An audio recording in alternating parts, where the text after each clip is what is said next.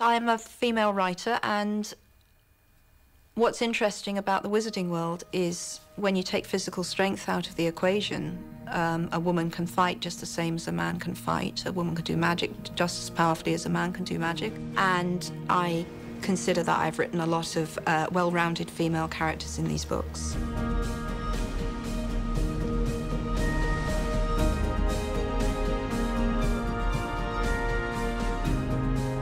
As an author, none of the women ever gave me trouble, actually. It was always the men that gave me trouble, never the women. But Harry came to me as Harry, and I never wanted to change that. Because switching gender isn't simply putting a dress and a, and a pretty name on, on a boy, is it? Um, a lot of preoccupations and, ex and ex expectations are different on, on men and women, and so the books would have been incredibly different, I think. Considering the protagonist is a male, I don't think it was so obvious at the beginning that she very much wanted to portray her female characters as very strong-willed and sort of admirable. But as the films went on, I think you can really see it.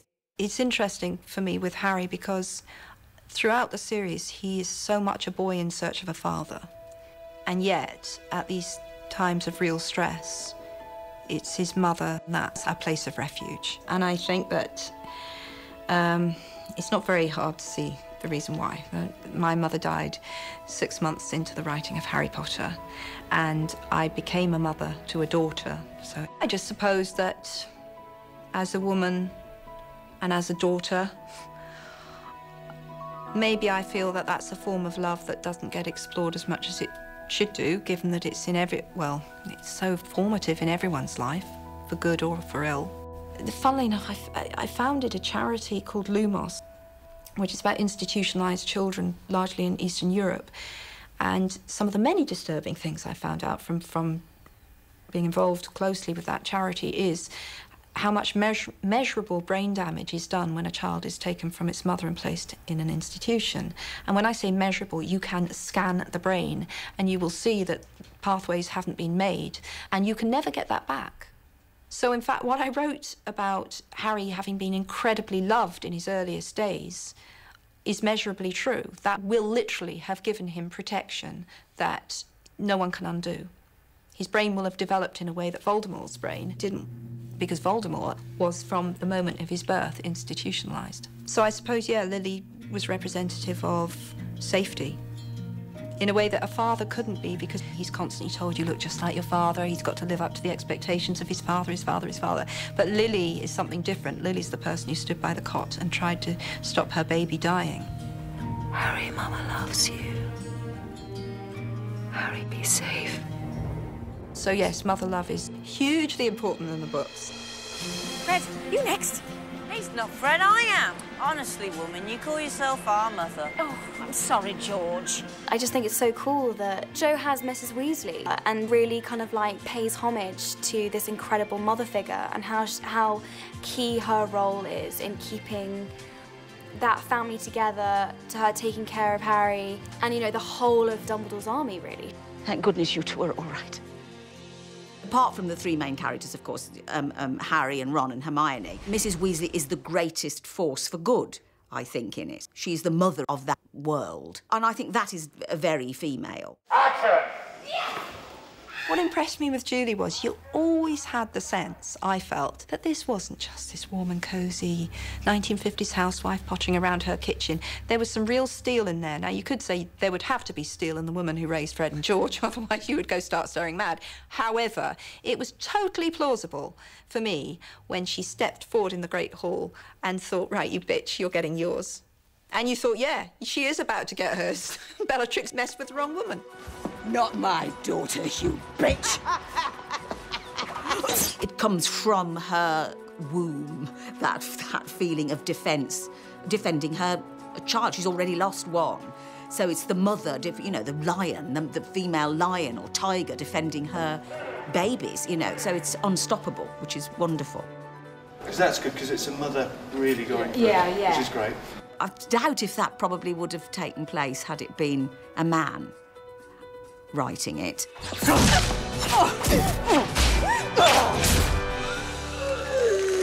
I really enjoyed killing Bellatrix, and I really enjoyed having it be Molly that did it. And of course, you also have two very different kinds of female energy. They're pitted against each other. You have Molly, who will mother the whole world if she can, and you have Bellatrix, whose idea of love is very perverse and twisted, and that was satisfying. But there was something else I wanted to do with the way that Bellatrix ended. And this was very important to me. Very early on in writing the series, I remember a female journalist saying to me that Mrs. Weasley said, well, you know, she's just a mother. And I was absolutely incensed by that comment.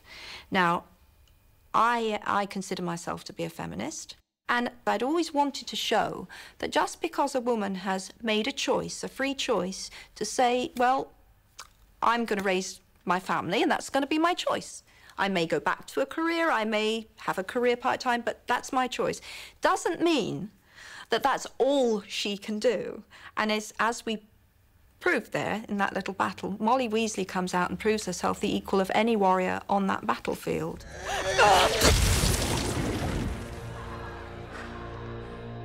and I also loved that Professor McGonagall got her her moment to really show what she could do. Piertotum locomotor. Teachers have been so repressed in how they see Hogwarts, obviously from, from its new sort of ruling, that you can see that they're just itching for, for, you know, their fight back against evil. And I love that for Professor McGonagall. She just completely just shows what she's made of. I don't like the marginalisation of women when the, when the fighting breaks out. You know, we get to fight too.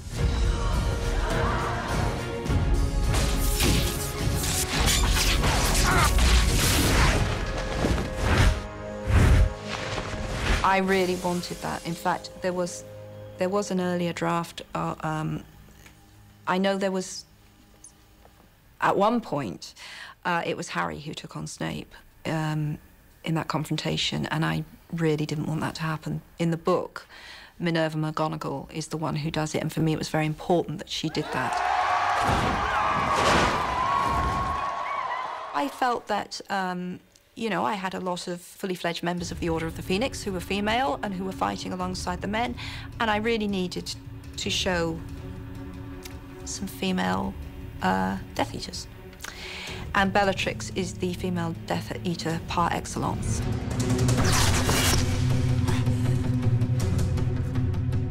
Bellatrix is not a great advertisement for prison, if this is what it's done to her.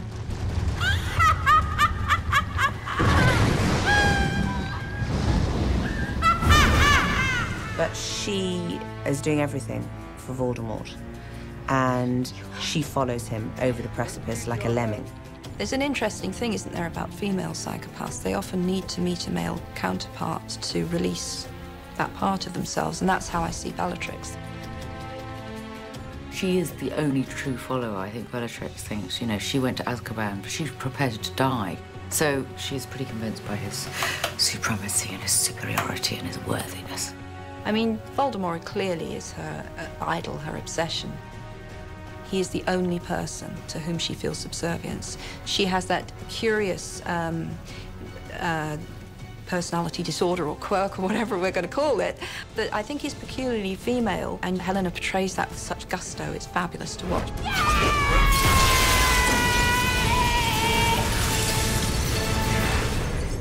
However, it's my strong feeling that of the two sisters, Narcissa and Bellatrix, Narcissa is a much more decent person. It's interesting that J.K. Rowling decided to do that. She decided that the woman that would risk her own life to save her own son understands loyalty and understands preservation of life. I think one could argue that Draco, who, who is ultimately revealed not to be an evil character, Draco got his goodness from his mother. And ultimately, I want there's an echo of what Lily did, quite a conscious echo of what Lily did right at the start of the story, at the very end of the story. At the start of the story, Lily dies to keep her son alive. At the end of the story, Harry lies pretending to be dead on the ground, and it's her mother who saves him again because she's trying to get to her own son. So that was my, you know, that was closing a circle. He was saved there by Lily, and he's saved there by Nar Narcissa. Is he alive? Draco, is he alive?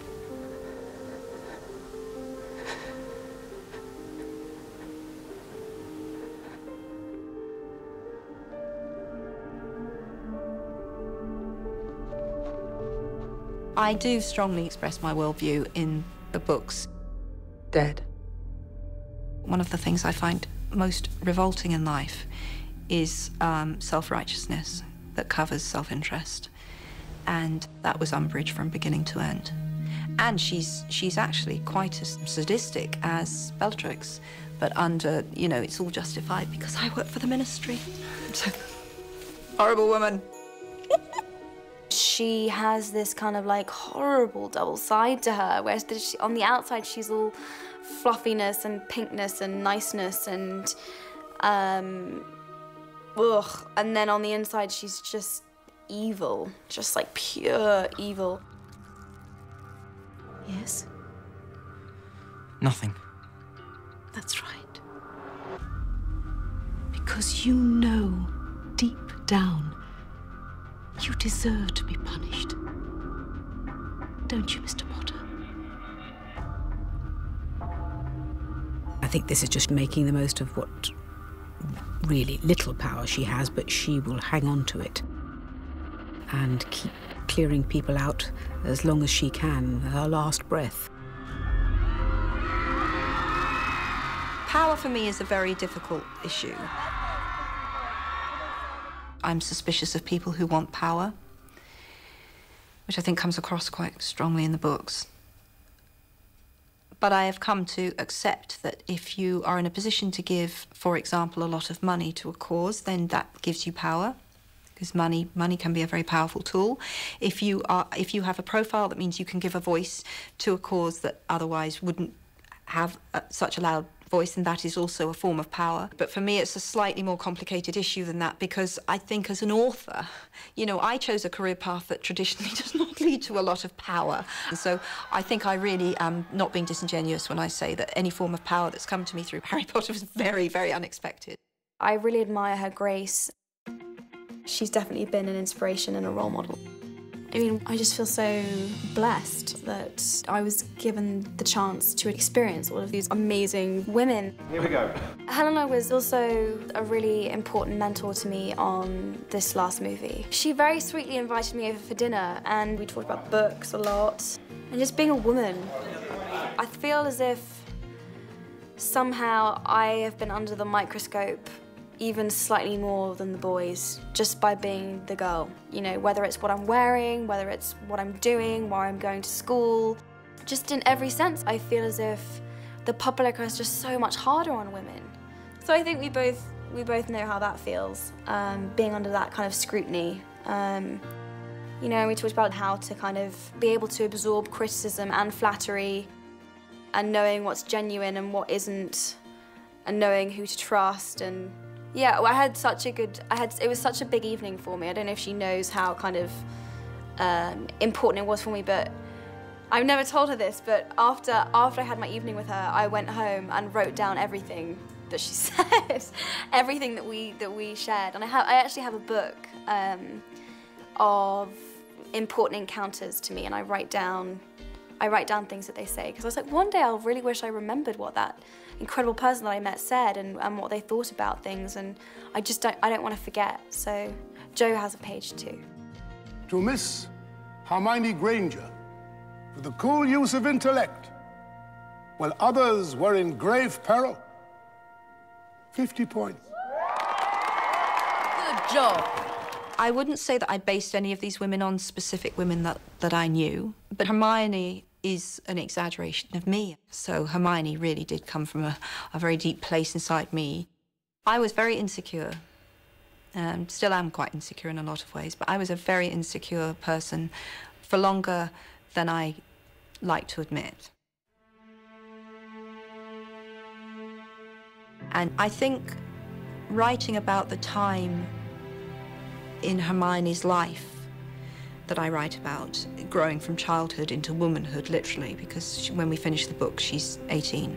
I think it brought back to me how very difficult it is. So much is expected of you as you become a woman, and often you are asked to sacrifice parts of you in becoming a girl, I would say. Hermione doesn't. She doesn't play the game, if you like. How could I be so stupid? I checked this out weeks ago for a bit of light reading. This is light. The kind of teasing that Ron gives Hermione for being clever and always being in the library and, you know, I've, I've had that my whole life. Guys giving me a hard time for doing well and being smart, and so I can totally relate. You're saying it wrong. It's Leviosa, not Leviosa.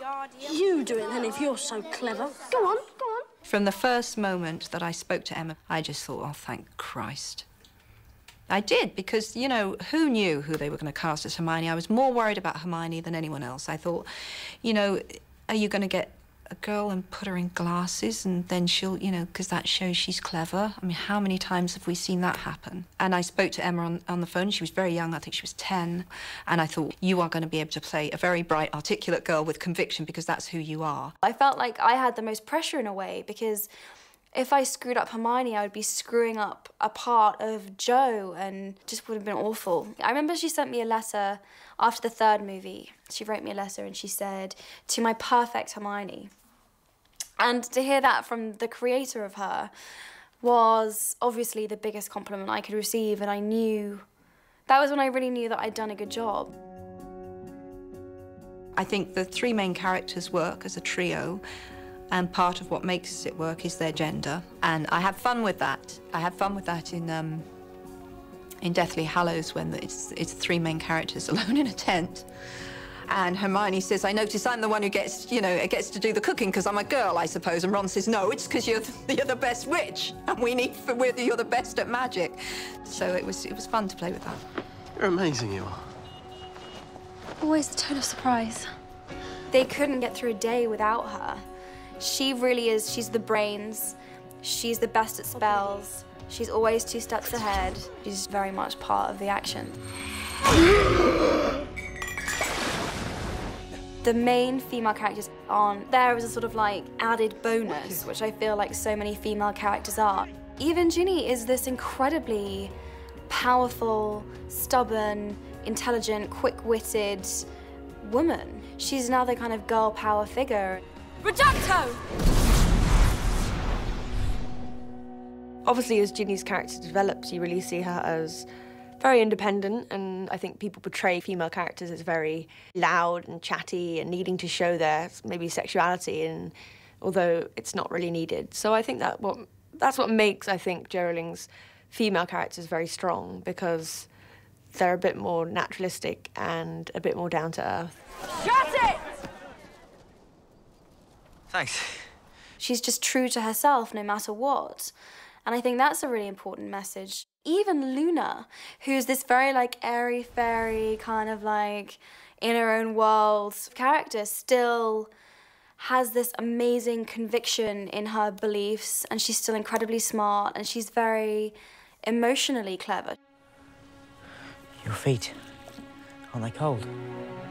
Bit. Unfortunately, all my shoes have mysteriously disappeared.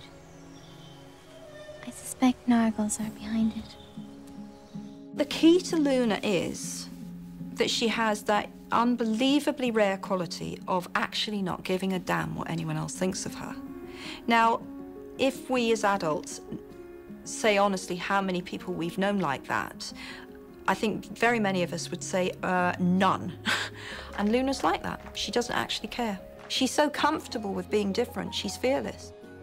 And I find I loved writing scenes where Luna and Hermione were together because Luna and Hermione are the absolute antithesis of each other, and yet I love them both equally. What an interesting necklace. It's a charm, actually. Keeps away the nargles. It's sometimes very difficult as a woman to say, well, actually, this is who I am, and I'm not going to pretend otherwise.